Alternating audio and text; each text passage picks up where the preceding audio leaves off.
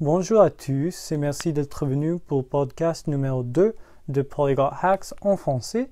Avant cette vidéo, je vous rappelle que vous pouvez vous abonner à recevoir des courriels hebdomadaires pour améliorer votre apprentissage pour n'importe quelle langue. Le lien sera dans la description et c'est complètement gratuit. Aussi, le script de cette vidéo est dans la description. Si vous aimez cette chaîne et ces podcasts, veuillez vous abonner à ma chaîne, partager la vidéo et laisser un commentaire. On y va Est-ce que les devoirs sont nécessaires pour apprendre? Aujourd'hui, je vous parle d'un aspect d'étude que presque chaque étudiant déteste. Je devine qu'il peut y être des étudiants qui étudient un sujet et ils ont envie de faire le devoir, mais la plupart du temps, ce n'est pas le cas.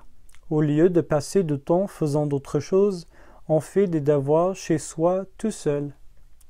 Tout d'abord, quand on demande aux professeurs de la raison pour laquelle on reçoit des devoirs, ils nous disent que c'est dans le but d'améliorer notre apprentissage.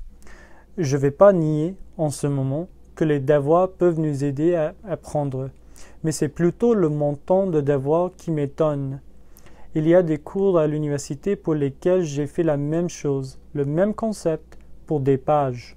Après avoir fait une ou deux pages de devoir d'un concept en particulier, je pense que le professeur pourrait mesurer notre capacité de faire quoi que ce soit. À mon avis, une meilleure idée serait de nous donner l'option de faire les devoirs et de les corriger par le professeur. Si c'est vraiment pour notre apprentissage, pourquoi y a-t-il une note liée au devoir les devoirs sont faits pour apprendre des fautes et apprendre, n'est-ce pas? Alors, les professeurs devraient nous donner l'occasion de commettre tant de fautes dans les devoirs.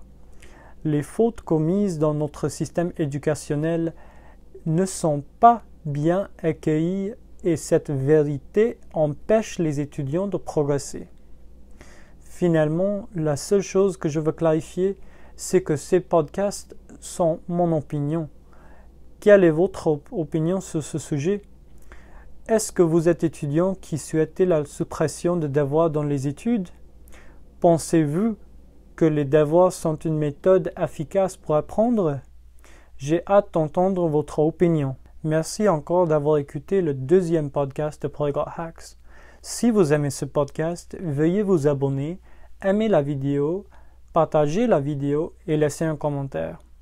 Au revoir.